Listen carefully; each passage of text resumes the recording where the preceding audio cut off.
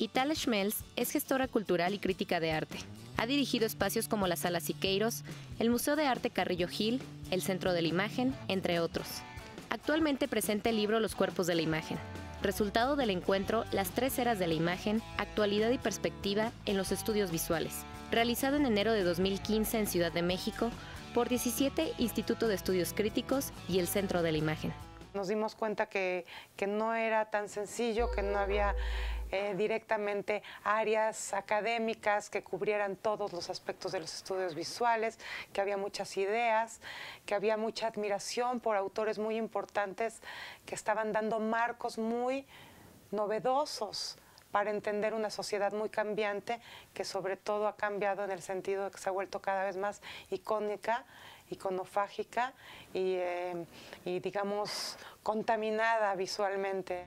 La imagen incluye ámbitos como el cine, la fotografía, la televisión, el video, los medios digitales, la publicidad, las historietas, la caricatura y el fotoperiodismo el uso digital de, las herramientas, la posibilidad de generar fotografías, de hacer video, de transportarlas vía los celulares, ha cambiado totalmente el estatus del artista. ¿No? sobre todo el fotógrafo, todo eso estaba en juego y eso es lo que nos convocó a hacer ese coloquio.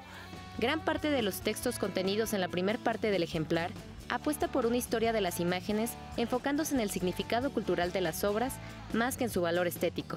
En este libro eh, la manera en la que hemos dividido eh, la participación de los ponentes es en tres grandes grupos. El primer grupo responde a autores de gran talla internacional que han generado propuestas conceptuales y teóricas para abordar hoy en día las imágenes.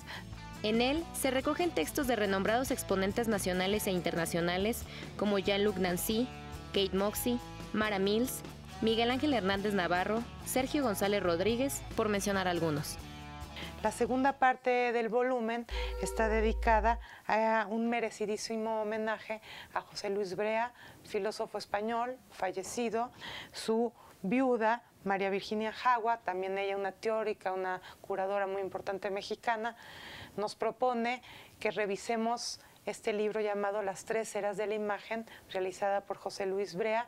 Vienen especialistas españoles, se arma una mesa dedicada a este tema, las tres eras de la imagen, la, la época tradicional, donde las imágenes son únicas y repetibles, la pintura. En la última parte, el libro ofrece un mapeo entre quienes están pensando y cómo se está pensando la producción de imágenes en México. Esa distancia crítica que nos permite hacer memes, por ejemplo, ese es un poco en donde a mí me gustaría que nos ubiquemos, la capacidad de responder a imágenes coercionantes con sus deconstrucciones críticas. Itala Schmelz asegura que el lector encontrará reflexiones sobre el cine mexicano, la ficción televisiva en México, la imagen digital e inclusive la profusión de las imágenes de violencia del crimen organizado y cómo interactúan las expresiones artísticas con esta realidad. El libro se podrá encontrar en múltiples librerías del país y en el Museo Universitario de Arte Contemporáneo.